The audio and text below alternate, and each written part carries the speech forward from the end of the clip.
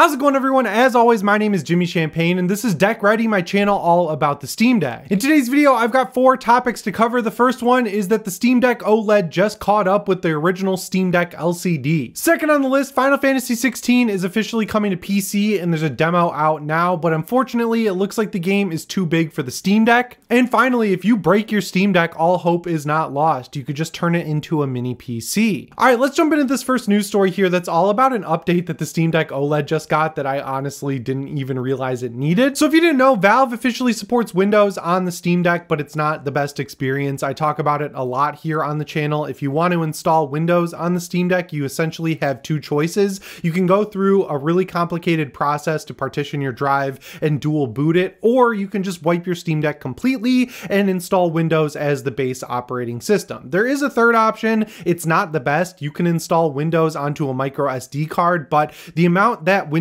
accesses that SD card will definitely shorten its life. And I personally noticed that over time, Windows gets slower and slower and slower. And as the SD card gets hotter and hotter, it actually slows down in real time. So while yes, it is kind of a great little stopgap while we wait for dual booting support on the Steam Deck to become official, it's not necessarily the best option. And with how expensive micro SD cards are, I would say it's definitely not worth the risk to fry your SD card. But nonetheless, Valve is a great company when it comes to actually supporting what people want to do on the Steam Deck. We've seen millions of cases where people do things with mods or they download things in Decky Loader and then Valve turns around and makes it an official feature, which is great. So they also include Windows drivers to make sure all of the hardware on the Steam Deck, like the Bluetooth chip, the Wi-Fi chip, uh, the audio drivers, all of that stuff works out of the box if you install these drivers that they include. Now, I honestly didn't know that they didn't include them for the Steam Deck OLED up until last week, but yeah, it looks like uh, Uh, you can officially install Windows on the Steam Deck OLED with drivers from Valve that'll officially support Windows, which is great. The reason I honestly didn't know this is because the only time I really ever have messed around with Windows on the Steam Deck was back when the Witch Queen was out for Destiny 2, like when that was the main expansion. So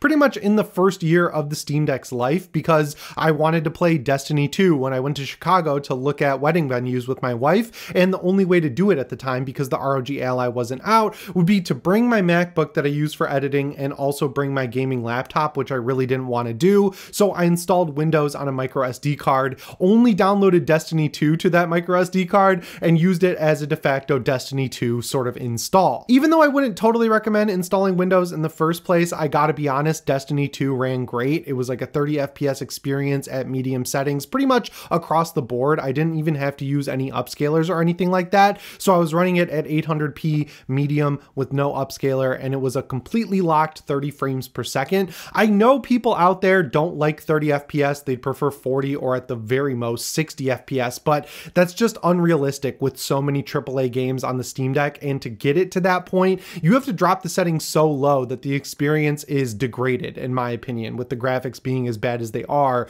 to get to that 60 FPS experience. So I've just given in. I've seen the light that 30 FPS consistency to me is preferable to 40 FPS with bad graphics or 60 FPS with bad graphics. So like, yeah, with Destiny 2, I kept it locked to 30 FPS. The most interesting thing about this entire news story is it kind of presents a pattern that I've noticed where Valve, whenever they're going to do a major feature drop or something with the Steam Deck, they either allow something to leak out or they include something in an update that's very small. And then a week later or so, we get a big update that includes a lot of these features. So like a couple weeks ago, when they knew they were going to do some interviews with The Verge and let them know that they were going to support the ROG Ally with SteamOS 3.0 officially, they included a small little feature in a beta update that included a little note about supporting the back buttons for the ROG Ally. So that does a good job drumming up interest in the community, gets people excited. So after that, Valve follows the breadcrumb trail up with a one-two punch interview with The Verge usually because they like talking to them a lot for some reason, even though the whole deadlock situation just happened. And then they reveal exactly what they're working on to get the information out there. I think it's really smart. It's a cool way to get people interested in specific topics when it comes to the Steam Deck, especially if they're ones that people have been waiting for for a long time, like being able to dual boot Windows. And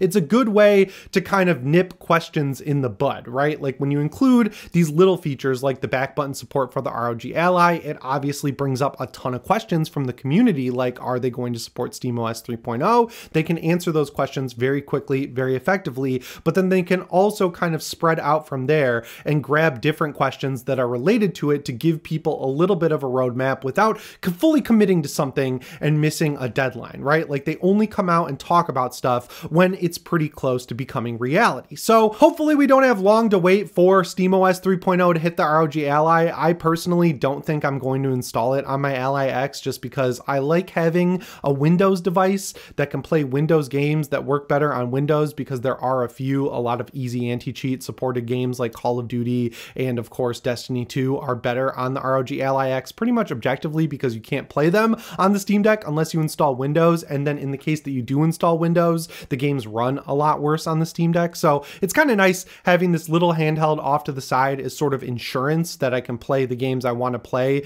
even if the Steam Deck doesn't support them. But 99% of the time, I'm on the Steam Deck. I've been playing a ton of Diablo 4 lately. I'm very deep into season 5. Anyway, that brings us to the second news story here. This is like the worst kept secret in gaming, but Final Fantasy 16 is coming to PC around September, and it's cool because it's the complete edition of the game, but not only that, it's only going to be 50 bucks. Now, this was a game that I've been curious about on PC, mainly because I played it when it came out on my PS5 for my channel PS Ready, and I was immediately confronted with the fact that this game is too big for even the PlayStation 5. It has a performance mode and a quality mode, but neither of them are consistent experiences. If you didn't know, like this game lets you turn into the summons from other Final Fantasy games, and they're like giant, bombastic kaiju style boss fights. They're called icons in this game. And in the performance mode, you're going anywhere from like 30 FPS all the way up to 60. So I switched it to quality mode, and even that is not a locked 30 FPS. When you start to do some of the big icon fights where you're taking over the entire map to do these kaiju style battles, you'll see the frame rate drop into the low 20s, which is obviously not great. So yeah, I know the PS5 is pretty underpowered compared to most people's PCs out there, but it's still more powerful than the Steam Deck. So I was really curious if this game would be able to run on the Steam Deck pretty much at all, and it's not a pretty picture. So a lot of people out there, myself included, have tried out the free demo, and even at the lowest settings, you're never going to be able to hit a rock solid 30 FPS. If you use FSR 3.1, you can't use frame generation because it just doesn't work for some reason. And even at its highest performance setting with FSR upscaling enabled and everything like that, you're going to be dropping into the high 20s, which is irritating. And if you go into quality with FSR 3, you're going to be playing at like 24 FPS. And when you use the high performance mode of FSR, the artifacting is insane. Like the blocky graphics are terrible. There's even artifacting and glitches and everything like that. It's not really optimized at all for the Steam Deck. I know my friend Bill over at the Nerd Nest spent some time yesterday when the demo came out testing it out on different devices like the ROG Ally and the Legion Go, but like this is just one of those games that I don't really think is made to be played on a handheld. The scale of the fights, the quick paced action, it kind of like deserves a PC that can run it at 60 FPS because if you didn't know, the combat is all action oriented. It's very inspired by Devil May Cry. You want the highest frame rate possible in these fights. And when you're playing the icon fights, you know, when you're a giant kaiju, that's something that should definitely be experienced on the biggest screen possible at the highest frame rate possible because on my OLED TV upstairs, which I think is like a 77 inch, it was absolutely phenomenal. Like even with the frame drops and everything like that and running at some lower settings and aggressive upscaling, it still was a really cool next gen experience last summer when I played it for the first time. And while they did patch it, I went back a few times to see if anything was really fixed. And for the most part, it's about the same as it was at launch. They fixed a lot of bugs. They fixed a major issue where when you would get to a certain point in the game, people's PS5s would overheat and shut down, which is good. That's not something that you want to have in a game, obviously. But from a performance perspective, they didn't really improve it drastically enough to where you're getting a consistent experience in quality mode or performance mode. So if you've got a beefy PC, try this demo out, see if you can run it at a lock 60. But uh, yeah, this might be a good candidate for uh, if you have a monitor that can run at 120 hertz playing at 40 FPS. I know that's crazy, but like Square Enix never optimizes their PC ports. So I felt like from the very beginning, hoping that this would be the magic bullet, the PC port versus the PS5 version.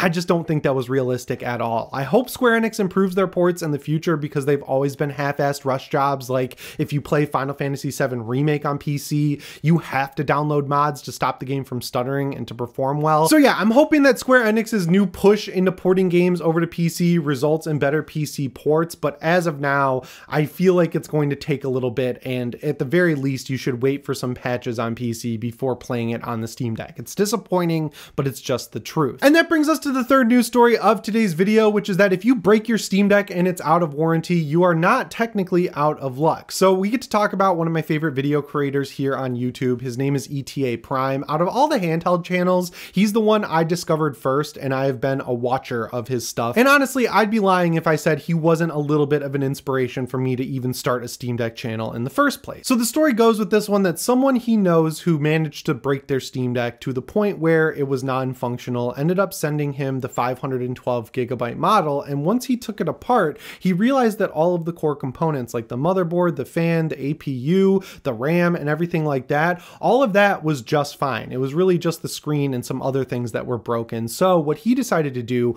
was tear it down and sort of reconstruct it as its very own little mini PC and give it a video output port and everything like that. So you could plug in a keyboard, plug it into a monitor, plug in a mouse, and then just see if it would work. The centerpiece of this whole project was the motherboard of the Steam Deck. So that included the APU, it included the M2 storage, and it included the USB-C port. So essentially, it's pretty much everything you need to get this thing up and running off the ground. So because this monstrosity only had one USB-C port, of course, because it's the internals of a Steam Deck, what he ended up doing is finding a dock that had video out and USB-C out and 65 watt power delivery where you could pass through a Steam Deck charger. And that just worked right out of the box. It basically just defaults into desktop mode, not desktop mode, it defaults into like video output mode versus looking for a screen. And it doesn't look like there's really any internal checks on the Steam Deck motherboard itself to say, hey, do I have my controller? Do I have my screen? Do I have all the components that I need to run? Because this is a gaming PC